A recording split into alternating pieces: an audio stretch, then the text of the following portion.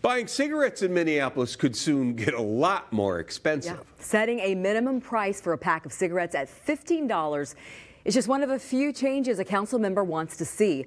It's just the latest move in a decades-long effort to curb smoking in the city. Ben Henry talked to the city leader behind this and a tobacco shop urging customers to try and stop it from happening. He's live now. Ben?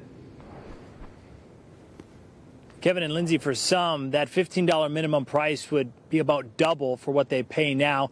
That shop I went to had this on the counter, flyers asking people to reach out to the city council, urging them to not vote in favor of these changes.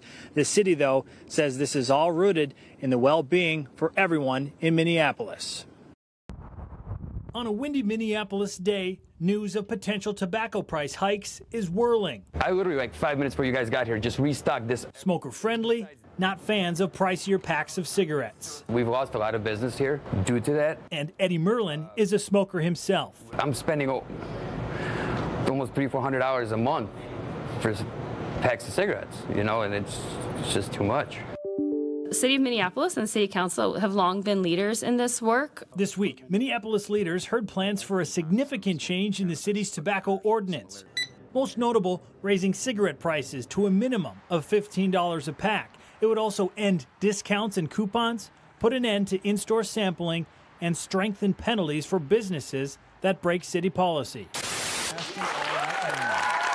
This effort to slow smoking, the latest in two decades of policy changes. We really need smoke free workplaces. In 2004, Minneapolis joined a growing number of Minnesota cities in banning smoking inside many public places. We're going to have healthier citizens. Leading this current charge is Councilmember LaTrisha Vetaw. For many years, I've also talked to people who have said, like, with this change, I'll smoke less or I'm probably going to quit. People should have should be able to make their own choice. But the state says price increases have helped changed habits before.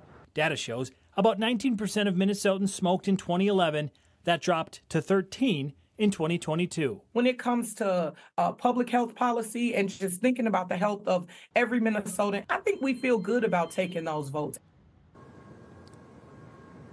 According to the city, that $15 minimum for a pack of cigarettes would be one of the most expensive rates in the entire country and that minimum price would also go for cigars and loose tobacco.